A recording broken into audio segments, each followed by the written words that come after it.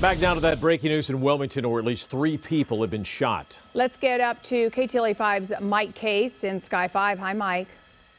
Hi, uh, Lou and Glenn. Here's what we understand so far. The uh, there was a family get-together and shots were fired. Now, LAPD responded to that shooting and they discovered three victims, as you mentioned, all female. They've been taken to the hospital. No life-threatening injuries that we know of. There was another shooting reported from the scene about a half a block away. Now we're at the 831 block of Lagoon, just north of of Anaheim. No description on the suspects. Originally, they thought it was a black SUV, but now they've uh, narrowed that down to a silver colored Hyundai sedan. They don't know the direction taken, and there's no word on if they knew the suspects or they were related in any way to that family gathering. There's about a one block perimeter that's been cordoned off not looking for suspects, but looking for evidence, shell casings, that type of thing, or possibly even any witnesses that saw anything again here in the 800 block of Neptune, just north of uh, Anaheim. Again, a, sh a, shots fired call at a family gathering, three people taken to the hospital. That's what we know so far. On Mike Case up in Sky 5 HD over Wilmington, back to you.